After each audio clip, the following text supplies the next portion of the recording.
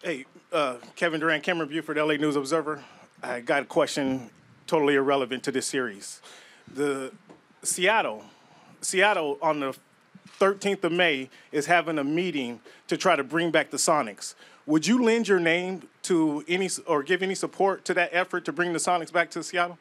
I mean, I've been it, since I've been in the league since we left. I've been screaming that team needs to go there. So yeah.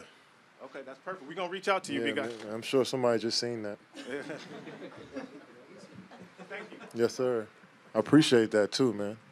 It's a good question for the city right there. I like that. Yeah, I- I came to see you play up there 2008, I guess it was, before you left, before you guys left, man. Nice. So that'd be good to get the Sonics back to Seattle, sure. and I'm hold you rec- responsible for that. Yeah, man. I'll take it.